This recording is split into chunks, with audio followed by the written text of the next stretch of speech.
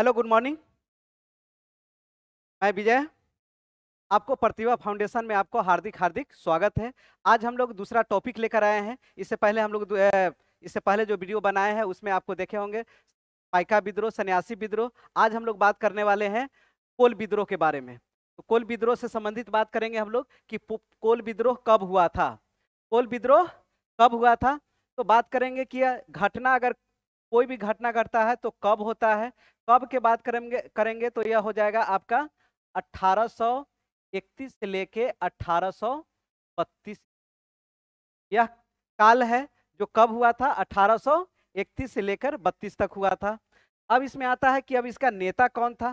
नेता की बात आता है कि नेता कौन था? नेता के बात करेंगे।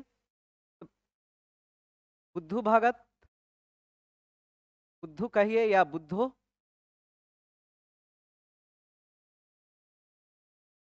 बुद्धो भगत। बुद्धो भगत प्रमुख नेता हुआ करता था और है मदरा मदरा महतो, जोया भगत, इस तरह से अन्य नेता है जो इसका, इनके साथ नेतृत्व करने में सहयोग दे रहे थे। मुख्य रूप से कहा जाता है इसका नेता जो है बुद्धू भगत थे। इनका, इनको मृत्यु के बाद, इनका मृत्यु के बाद एक और नेता हुए गंगा नारायण। गंगा नारायण। यह गंगा नारायण क्या होता है? बुद्धू भगत के मरने के बाद, यानी उनका मृत्यु के बाद इसका, इस कोल विद्रोह का नेतृत्व किसने कर रहा था? गंगा नारायण कर रहा था। तो गंगा नारायण कर रहे थे। अब इसके बाद देखेंगे कि यह जो है, यह कोल जनजाति जो है, आप देखे होंगे कि कोल जनजाति, यह कोल जनजाति है।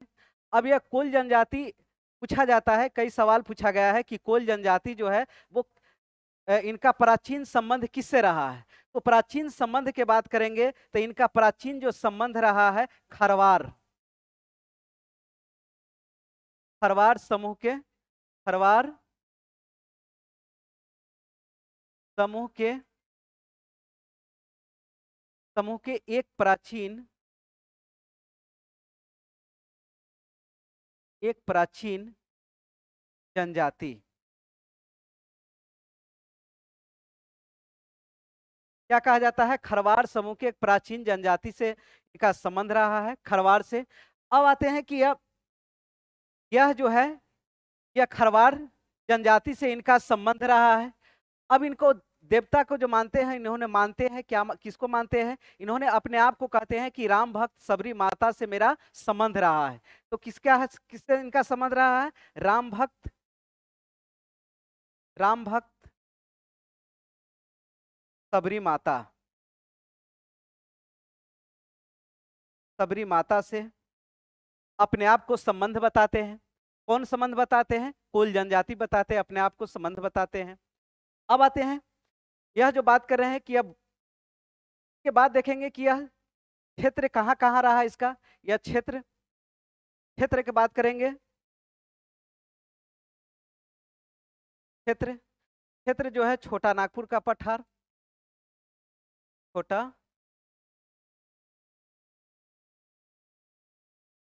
छोटा नागपुर का पठार। छोटा नागपुर का पठार। यह क्षेत्र रहा जहाँ पे यह घटना कुल जनजाति ने घटना का अंजाम दिया या वहाँ उस क्षेत्र में विद्रोह हुआ। छोटा नागपुर का पठार था। अब देखेंगे कि छोटा नागपुर का पठार जो है, इस क्षेत्र में यह आंदोलन होता है। पूछा भी जाता है आपको सवाल, यह यह जो आंदोलन हुआ था, किस क्षेत्र में हुआ था? तो आपको बताना पड़ेगा, छोटा नागपुर के पठार क्षेत्र में हुआ था। अब आते हैं। यह जो है, घटना जो है अगर घटना हो रहा है तो उसका कोई ना कोई वजह होता है, कोई ना कोई कारण होता है। तो कारण भी जानेंगे हम लोग कि कारण क्या क्या रहा है। अब देखेंगे कि कारण के बात करेंगे कि कारण क्या क्या रहा है।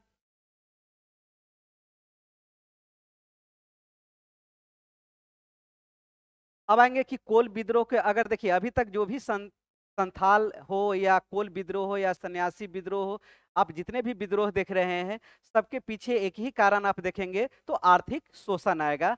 आर्थिक शोषण और उसके बाद सामाजिक शोषण।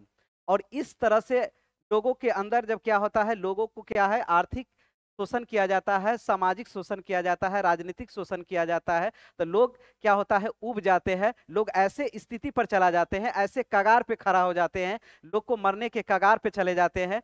अब उनको समझिए छोटा सा उदाहरण दे रहे हैं कि मान लीजिए कि जो भी जनजाति की बात कर रहे हैं कि जनजाति जो जनजाति जो भी रहते थे, वो क्या था, स्वतंत्र रूप से रहते थे, जंगलों में रहते थे, जंगल उनका शिकार करना, ठीक ना? और वहाँ उस आसपास क्षेत्र में उन्होंने खेती खेती करके मतलब क्या है जो जंगल है, उसको काट करके खेती नुमा ज़मीन बना के और उस पर खेती करना, उनका जीवन यापन इसी तरह से चल रहा था। वो पहाड़ी के किनारों में, या देखेंगे कि जो भी छोटा नागपुर पठार है, उसी के आसपास पहाड़ी क्षेत्र में जंगल को काट करके, अपना खेती बना करके वो खेती को कर रहे कर रहे होते हैं, लेकिन उनको टोक टाक करने वाला कोई नहीं होता है।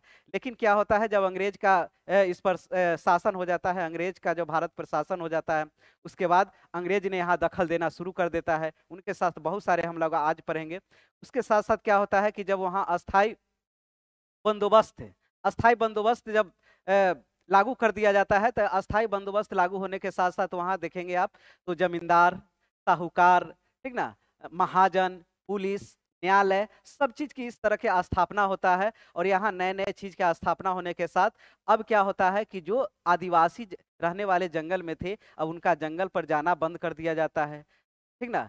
जंगल में जाना मना कर दिया जाता है। अब उनका जो ज़मीन पे जहाँ पे खेती कर रहे होते हैं, वो ज़मीन पर टैक्स लगा दिया जाता है। अब यहाँ तक कि टैक्स के साथ साथ अब ज़मीन हड़पना लोग शुरू कर देता है। और ये सारे कारण होते हैं जिसके कारण आदिवासी लोग या जनजाति लोग क्या करते हैं? अंग्रेज़ों के खिलाफ, साहूकारों के, जमींदारों के खिलाफ इन्होंने क्या करता है? अंतोगतवा आंदोलन करना शुरू करता है। ताकि ताकि कारण में जाएँगे तो आपको एक ही कारण आपको समझ में आएगा कि लोगों को अब क्या लग रहा था कि हमारे साथ क्या कर रहे हैं, ये दिक्कू लोग, जो बाहरी लोग हैं, ये हमारे साथ क्या कर रहा है, शोषण कर रहा है और इस तरह से हमें इसको क्या करना है, यहाँ से भगाना है। तो आइए हम लोग देखते हैं टॉपिक बाई टॉपिक तो कोल विद्रोह जो है, कोल विद्रोह जो है, आपको देख रहे हैं कि कब हुआ था? तो 1831 से बत्तीस में होता है। इसका नेता कौन था? विद्धु बुद्धू भगत या बुद्धो भगत कहिए, मृत्यु कब हुआ था? मृत्यु बुद्धो भगत का हुआ था अठारह सौ इकतीस ईस्वी में हो जाता है। इकतीस से बत्तीस ईस्वी के बीच में। तो इनको मृत्यु के बाद क्या हो जाता है कि अब इसका नेतृत्व जो है, कोल विद्रोह का नेतृत्व किसने करने लगता है? गंगा नारायण करने लगता है। अब आता है कि गंगा नारायण इसका नेतृत्व करता है और यह बत्तीस आते आते इसको, इस आंदोलन को क्या कर दिया जाता है? दबा दिया जाता है। तो अब आते हैं हम लोग कि कारण में आएँगे। तो कारण देखेंगे कि बहुत सारे कारण था।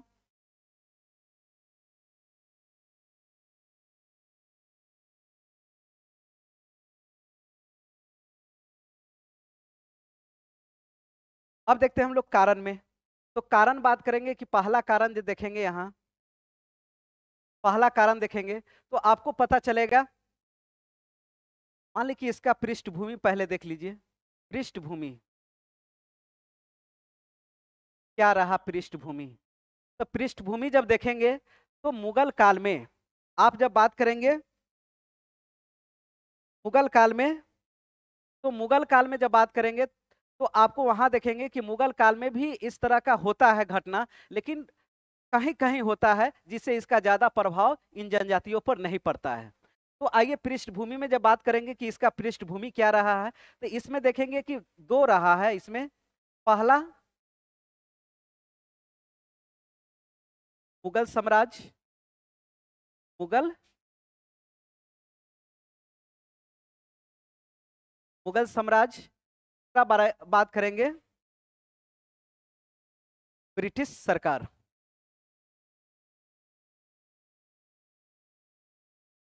ब्रिटिश शासन। ब्रिटिश शासन। दो बात करेंगे हम लोग कि मुगल साम्राज्य और ब्रिटिश शासन। अब देखिए कि अब कोल जनजाति जिस सम, वहाँ पे अपना खेती करना शिकार करना उनका जो मूल मतलब कि कहा जाता है कि जो मूल उद्देश्य था, जो मूल आवश्यकता के, आवश्यकताओं का जो पूर्ति हो रहा था, वो जंगल और कृषि से हो रहा था। तो आइए जब बात करेंगे कि मुगल साम्राज्य जो है, कि मुगल साम्राज्य के समय में इनका ज़्यादा व्यापक व्यापक प्रभाव नहीं पड़ता है। किस पे नहीं पड़ता है? कोल कोल जनजाति पे। कोल जनजाति पर इसका क्या नहीं पड़ता है? विशेष मतलब प्रभाव इसका नहीं पड़ता है। अब देखते हैं कि मुगल साम्राज्य में ज़्यादा विशेष इसका प्रभाव नहीं पड़ता है, लेकिन ब्रिटिश शासन में इसका ज़्यादा प्रभाव पड़ता है। किसका ज़्यादा प्रभाव पड़ता है? अंग्रेज़ों का। तो अंग्रेज़ों का पड़ता कैसे है? आइए आगे हम लोग देखते हैं। दूसरे स्लाइड में देखते हैं।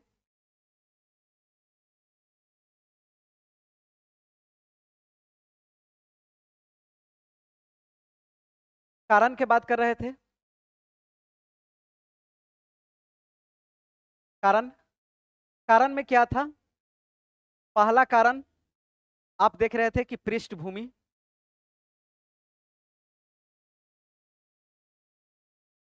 पृष्ठभूमि में बात करेंगे तो मुगल साम्राज्य मुगल साम्राज्य में आ जाएगा आपका ब्रिटिश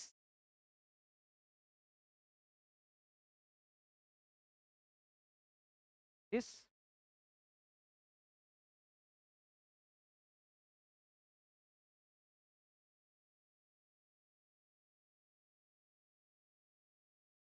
ब्रिटिश शासन। ब्रिटिश शासन। अब आते हैं कि क्या है कि मुगल साम्राज्य में और ब्रिटिश शासनकाल में। अब मुगल साम्राज्य के टाइम में कुल जनजाति विद्रोह नहीं करता है, क्योंकि व्यापक स्तर पर इसका प्रभाव नहीं पड़ता है। तो साफ़ साफ़ कहते, कह सकते हैं कि इस समय भी मुगल साम्राज्य में भी क्या हुआ था? Hindu plus Muslim plus Sikh.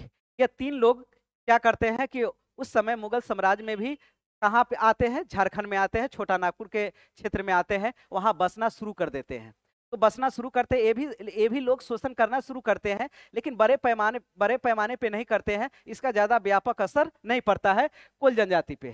तो यहाँ भी रहता है, इसका व्यापक असर नहीं पड़ता है, इस पे लिख सकते हैं कि व्यापक व्यापक परिवर्तन नहीं होता है। या व्यापक असर नहीं पड़ता है, कब? मुगल साम्राज्य में। लेकिन ब्रिटिश साम्राज्य के बात करेंगे?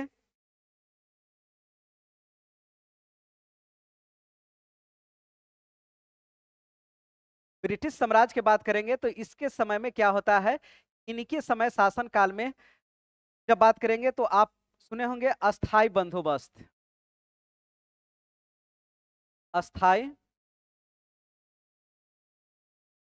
बंदो अस्थाई बंदोबस्त। तो अस्थाई बंदोबस्त आप जानते भी हैं, सत्रह सौ तिरानवे ईस्वी में। कब आया ऐसा? सत्रह सौ तिरानवे ईस्वी में अस्थाई बंदोबस्त लागू होता है। और अस्थाई बंदोबस्त जब लागू होता है तो अपने साथ कई लोग आते हैं। इसमें देखेंगे कि पहला लोग बात करेंगे कि क्या लोग आते हैं? जमींदार। नए जमींदार दूसरा बात करेंगे, साहूकार। साहूकार। तीसरा बात करेंगे, महाजन। ठीक के बात करेंगे तो कर्मचारी।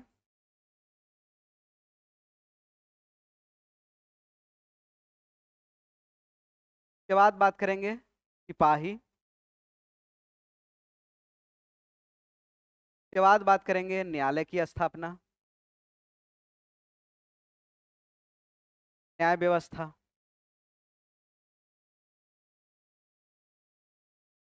अब ये अस्थाई बंदोबस्त के साथ बहुत सारे यहाँ प्रथा जो इनके साथ आता है, अब इन लोगों ने क्या करना शुरू करता है? अभी जमींदार जो है, अब वह क्या है कि टैक्स वसूलना शुरू करता है और टैक्स के मामले में जमींदार मतलब कि क्या करता है कि दुर्व्यवहार करके मतलब इस तरह से शोषण करना शुरू करता है।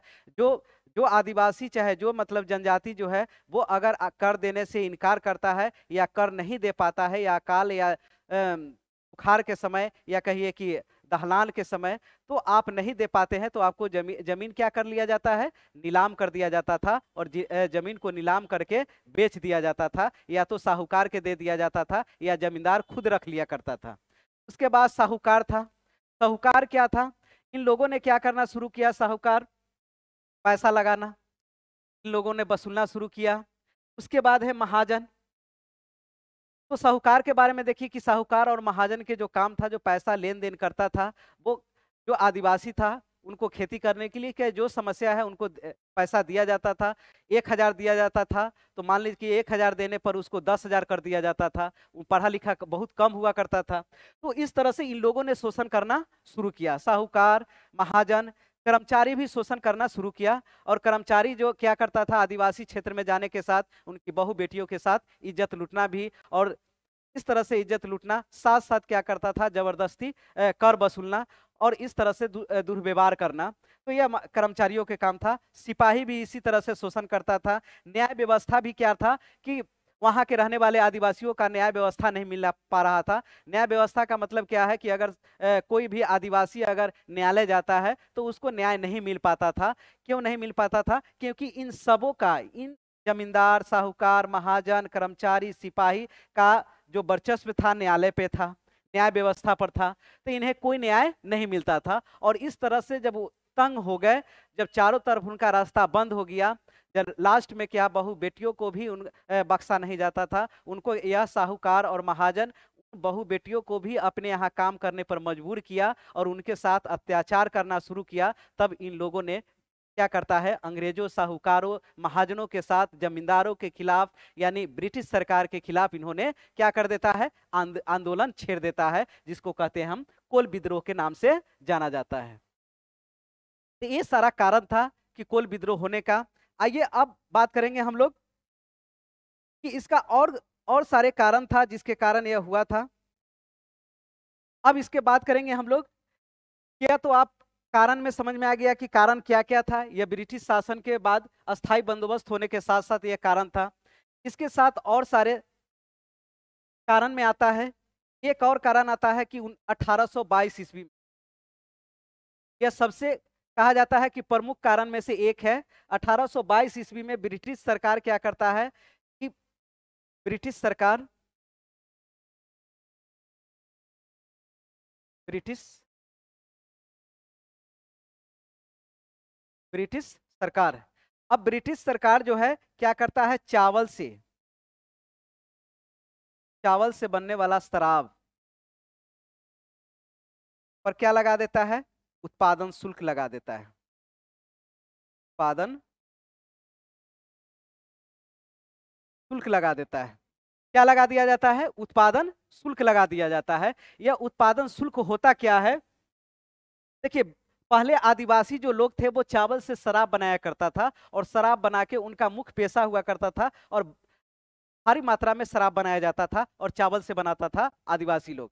और उस पर क्या करता है कि अंग्रेज़ का शासन होता है तो उस क्या करता है कि उस चावल पर क्या करता है कि पर, उत्पादन शुल्क लगा देता है टैक्स लगा दिया जाता है जिससे और खौफ हो जाते हैं आदिवासी लोग।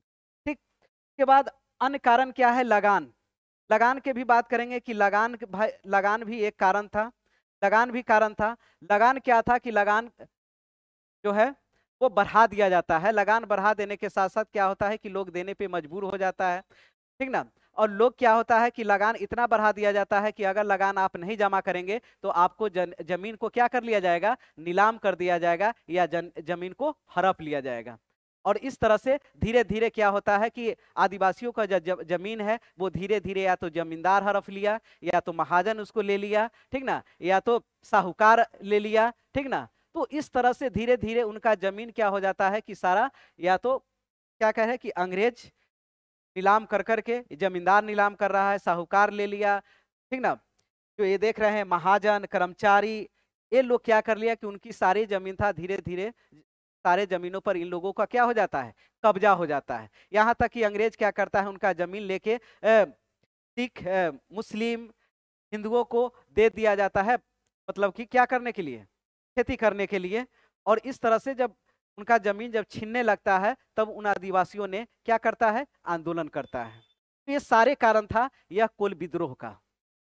तो आपको समझ में आ गया होगा कि यह कोल विद्रोह क्या था, कोल विद्रोह क्यों हुआ था, कोल विद्रोह के कारण क्या था, ठीक ना? इसका परिणाम क्या हुआ कि कोल विद्रोह का परिणाम यह हुआ कि लास्ट में क्या करता है कि कोल विद्रोह को, यानी कोल विद्रोह जो होता है इसको दबा दिया जाता है। अंग्रेज़ों ने इसको क्या करता है? दबा दिया, दबा देता है और इस तरह से आंदोलन क्या हो जाता है? समाप्त हो जाता है। और यह आंदोलन कहा जाता है कि यह आंदोलन जो है, यह आंदोलन रुक रुक कर रुक रुक कर बात करेंगे तो यह 1848 तक चलते रहता है।